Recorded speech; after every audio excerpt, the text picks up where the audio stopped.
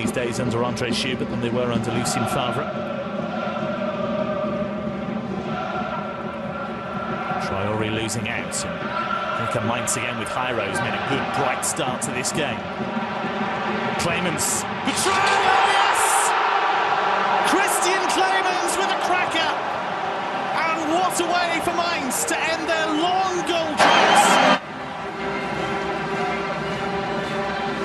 with the initial burst. Clemens had so much to do. An unstoppable, swerving strike. And Yann Sommer, well beaten. Too much movement on it for the goalkeeper. Critics may suggest that Sommer could have reacted quicker, could have done better.